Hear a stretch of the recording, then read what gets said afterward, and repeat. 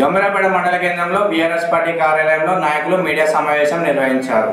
ఈ సందర్భంగా బీఆర్ఎస్ నాయకుడు ఎగదండి స్వామి నారారాల్ మాట్లాడుతూ మాజీ మంత్రి కేటీఆర్ జిల్లా అధ్యక్షులు తోట ఆగాయపై కాంగ్రెస్ నాయకులు చేసిన వ్యాఖ్యలను తీవ్రంగా ఖండించారు. పదేళ్ళ పాటు కేటీఆర్ నియోజకవర్గ అభివృద్ధి ధ్యేయంగా పనిచేశారని అలాంటి కేటీఆర్ను అర్హత లేని కాంగ్రెస్ నాయకులు విమర్శించడం సిగ్గుచేటన్నారు. కాంగ్రెస్ నాయకులు కేటీఆర్ నాయకులపై అనవసరంగా నోరు పారేసుకుంటున్నారని ఇప్పటికైనా తమ నోరు అదుపులో పెట్టుకొని మాట్లాడాలని రానున్న రోజుల్లో తగిన గుణపాఠం తప్పదని హెచ్చరించారు.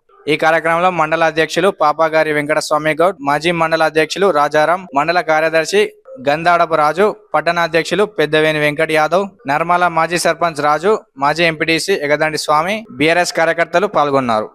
చాలా మంది కార్యకర్తలు బాధపడుతున్నారు. నిన్నయాల వచ్చి కాంగ్రెస్ పార్టీ ఏదైతే అక్కడ ఉన్నటువంటి సీనియర్ నాయకులను నువ్వు గుర్తించక నువ్వు పదవుల కోసం ఈ విధంగా చేస్తున్నావు నీ చరిత్ర అంతా అందరికీ తెలుసు కాంగ్రెస్ వాళ్ళకి తెలుసు బయట ఇతర పార్టీ నాయకులకు తెలుసు. ఖబర్దార్ టీఆర్ఎస్ గంభీరపేట పార్టీ పక్షాన హెచ్చరిస్తున్నా. జై తెలంగాణ. కాంగ్రెస్ నాయకులు టీఆర్ఎస్ పై విచ్చలవిడిగా వాళ్ళకు ఏ విధంగా మాటలు వస్తే ఆ విధంగా మాట్లాడడం అనేది సమంజసం కాదు. మేము గత పద్నాలుగు సంవత్సరాలు సుదీర్ఘ పోరాటం చేసి తెలంగాణ రాష్ట్రాన్ని సాధించినటువంటి పార్టీ టీఆర్ఎస్ పార్టీ. ఈ పార్టీ పద్నాలుగు సంవత్సరాల తర్వాత పది సంవత్సరాలు సుదీర్ఘంగా అహింస మార్గంలో ఈరోజు ప్రభుత్వాన్ని నడిపినాం.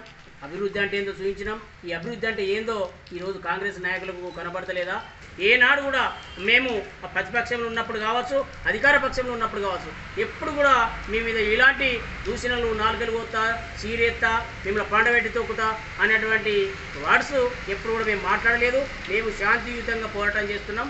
అభివృద్ధి చేయాలనుకుంటే మాకంటే మంచిగా అభివృద్ధి చేయండి. మేము చేసినటువంటి అభివృద్ధి కంటే ఇంకెక్కువ చేసి ప్రజల ప్రశంసలు పొంది మీరు కూడా భవిష్యత్తులో మంచి భవిష్యత్తుగా ఇంకా పదిహేను ఉండాలనడానికి ప్రయత్నం చేయాలి తప్ప ఈ నాలుగు తొమ్మిది నెలలకే మీరు ప్రజల చేత చి- చిరస్కరించబడ్డారు కాబట్టి దీన్ని మేము తీవ్రంగా ఖండిస్తున్నాం. ఎవరైతే మా నాయకులపై అవాకులు చేవకులు పీడిన వాళ్ళను మేము తీవ్రంగా ఖండిస్తాం. రాబోయే రోజుల్లో ప్రజాక్షేత్రంలో వాళ్ళని ఎండగడతామని ఈ గంభీరపేట మండల పక్షాన తీవ్రంగా మేము ఖండిస్తా ఉన్నాం. జై తెలంగాణ. జై తెలంగాణ.